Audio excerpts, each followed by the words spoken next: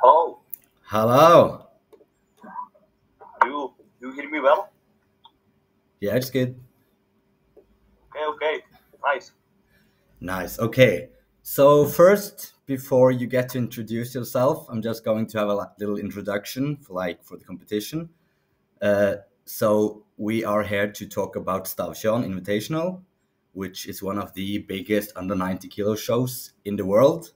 Uh, there will be 25 competitor competitors from seven different countries. It will be nine events, and the prize purse is uh, around 3,000 American dollars. And it will also be an qual- qualifier for the official Strongman Games, which is like the world's strongest man. So today, I'm talking with one of the participants, Filip. Will you help me with your surname? Filip Zajíček. Sajcek. Zajíček. It means rabbit in English. Rabbit. So, so that means that uh, running speed events would be a good thing for you. Yeah, of course. of course. Yeah. Just uh, tell me a little bit like now you uh, we got your name like how old are you where are you from So I'm from Czech Republic and I am 17 years old. I think I am the youngest competitor, but I think there's one 17 years old guy too. But so I'm from Czech Republic and I'm 17 years old. yeah so so very young but i i know of that you competed before even though you're 17 can you tell me a bit about like your lifting and strongman experience as a whole like competition wise and when did you start lifting Yeah, of course. I started when I was 13 years old, and when I first tried the lift, I lifted 150 kilos. And in what I first competed uh, Yeah. in powerlifting at my early 15 years old, and I think I managed to pull like uh, 207 deadlift, 150 squat, and 110 bench, or something about that. And my first strongman competition was, uh, we call it strongman rookie in Czech Republic.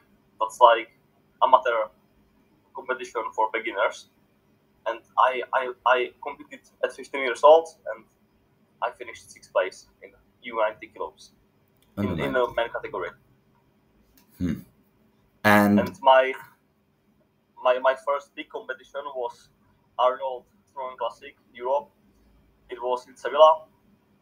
Uh, I was 16 years old there, and I managed to do. Uh, I managed to place third, and I'm so happy about this. Yeah, and that's where I first heard of heard of Filip. And I guess that's also why you got the invitation to Stavtjørn from your.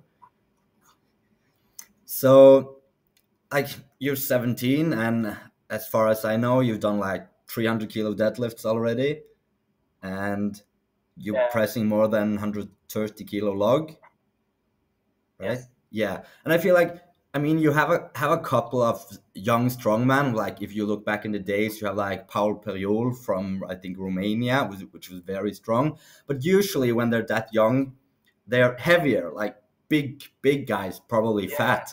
But you're young and you're small, so like, what would you say yourself is like? How did you get so strong so fast? Would you say it's like genetics? Do you have a good coach? What do you think yourself? I I don't actually know, but I think I have some luck and a little bit of genetics, a little bit of uh, because I, I don't have a coach. I, I write my uh, the trainings for myself my, on my own, but I think I'm pretty technical uh, strongman. So I I use split jerks. Hmm. I try to be fast as I can, and just uh, don't put on too much too much weight. If I if I could uh, if I can do it without it, if you if you know what I mean. Yeah, yeah, yeah, of course. If And I can be ni- 90 kilo lifter, it's better for me uh, and for my health uh, than the 110 kilos. Yeah, I think so as well. Especially when you're so young, I, I think just putting on more weight would be like just increase your risk of getting having an injury. Both because like the recovery takes more time and you're not like your body isn't like used to carrying so much weight. And then talking about weight, like uh, is a under 90 kilo show, and for example in Sevilla, as you said, you were competing under 95 kilos. So what's your like normal body weight? What do you weigh right now?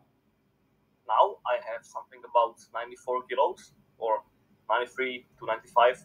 It depends how much I eat today, but something about 93 to 95 kilos. Yeah, so you'll have to cut a bit weight, but just a little bit Yeah. before. Yeah. So moving into the competition, looking at the like Stavtjørn specifically, what would you say is like? I mean, Stavtjørn has nine events, so like it's a big competition. But what would you say yourself? Like, which event do you look forward to the most? I, I look forward to the whole competition, but I, I look forward to the axle press for Max Yeah. because that's just uh, the the Max event. And then I like, as you said earlier, I love uh, running events. So the the the yoke run, I think I will be in the top places hmm if everything will be good. And then then I'm curious about the last man standing sandbag. Yeah, that's interesting one. Okay, so specifically the axle and also yoke. So if we turn it around and then talk about least looking forward to, what would you say would maybe your weakest of the nine events? I, I, don't actually know because uh, in in the competition there are aren't any events that I don't like. You know, I, I don't like track or, Yeah. or bench press. yeah. But- These these kinds of events uh, suits me pretty pretty good. So, but I but I'm afraid a little bit of the of the farmer's hold or, or, or the fra- frame hold Frame hold, yeah. not because not, not because it's I think I would lose some points, but because it's it's it depends on your head, you know. If you have good will, you will score lots of points. Yeah. It's a tough Uh, one and, and and maybe also if you like if you do good in the previous event which would be the axle for max like Yeah. then you will have some mark to beat like and that will help you to like endure the pain Yeah, I, and you know you, you will have to uh, hold the pain and everything. yeah But I'm looking forward. yeah so what would you say like it's yeah huge competition with nine events and as i mentioned 25 competitors. I i believe like some will fall off the wagon wheel. Like now on peaking probably a couple will fall out. So if we say like 20 competitors so what what's your own expectation to your own performance? Like of course you don't know all the athletes you're competing against but like what do you imagine yourself you like do you want to try to reach the podium or will you be happy with top eight? Like what's your own expectations Uh, I think I will be very happy if I, if I will reach the podium. I think I can get uh, to the top five, and then it depends how it how it goes yeah because there are there are events like backs over bar, and for me it's a little bit luck event. If you if you do a little mistake, you can drop so many points. So, yeah but I think uh, top five and maybe top three. so how do you go like like like uh, regarding your competitors do you look into them do you know anyone of the ones you're competing into do you like look them up on instagram or you Ah. try to avoid Uh, when when uh, some, some of the competitors I know, I know uh, Josh Lancaster. I follow him on Instagram, and he's crazy because he's under 80 kilos and yeah he has huge, huge PRs. And then uh, the guy from Iceland, I don't know how how is he uh, how is he called, but yeah uh, he was fourth in Arnold UK, so I met him there. yeah. Mm. and I, I know some of the athletes, but I I'm, I'm not not much stalker, so I, I will I will try to be best and we'll see. Yeah. So, for those who looked into the like the first video I made about Stavtjørn, talking about the events. The last event, uh, the sandbag last man standing, is a yeah a diff- different kind of event, and I'm not going gonna going through like every details in it, but to make it short, it's like last man standing, sandbag over bar, where the lowest placed athletes start against the second lowest, and you actually have the possibility to climb up the ladder all the way up to first, but like then you'll have to be 20 persons. So yeah, it's not really, yeah, it won't won't really happen. But almost like the same as the uh, stone event in the heats in the world's strongest man when you have like third against second. So that like the third even even though third place is like 10 points behind second, he can still go into the world's strongest man final. So like after how you understand the event, what's your thoughts on the last event? Do you think it's like unfair that it plays such a huge role, or do you think it's interesting, or like what do you think about it?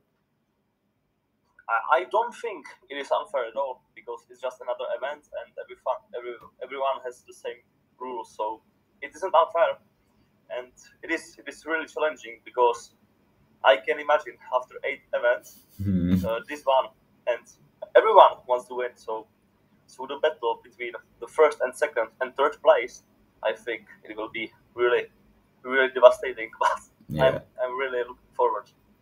Yeah. So, I mean, the competition is being held in like the middle of nowhere in Norway, and I know like some competitors are gonna stay on on cabins. Some will probably live like in the cities in the hotels. So, where you where are you staying? I'm I'm at Hodros because I registered late, mm. but I will stay at hotel. Hotel, okay. Um, so one of the events in the competition is the Circus Dumbbell, and I know that you competed in Circus Dumbbell in Sevilla. Uh, in Sevilla, you had seventy-five kilos for repetitions, and you did three reps, I believe.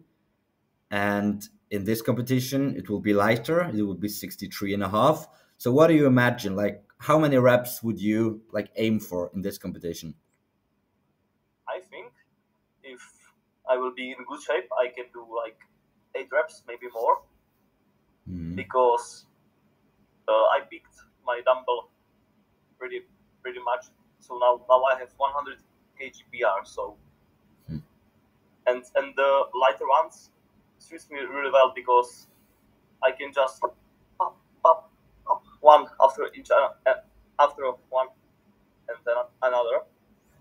Uh, but I think eight, but in the mountains everything can happen. So yeah, of course. Okay, so you you'll hope for about eight. What do you think is possible? Do you think like eight will be enough for the win, or do you think it's like possible for Josh to go at ten, or like what do you think? I think uh, so. So you have for ten, you, you would have to do six seconds one rep. Yeah. I think ten is really really amazing result. So I think eight ten will be the the best performance performance. Interesting. Yeah. And then again, I think that's second to last, so that's like event eight. So yeah, yeah it'll be interesting. Also, some some athletes will be like very fatiguing at this place but but then again like dumbbell press is a lot of leg strength and 60 kilos or 63 kilos isn't that heavy on the legs so i yeah. think it depends if like how how fatigued different athletes are so yeah we're almost through all my questions uh, i just want to end with like I know it, this is the third year this competition is held in Stavtjørn, but it's the first time it's international competitors. So how how do you look at the competition like right now? What's your general thoughts? Do you look looking forward to like uh, going to Norway? Have you been to Norway before? Do you look forward to competing in like the nature, or would you prefer prefer a stadium? Like, what's your general thoughts about the comp? I find it really interesting because it's in the mountains and in the Norway. So, and I love Vikings, so it's it's it's good for me. Yes.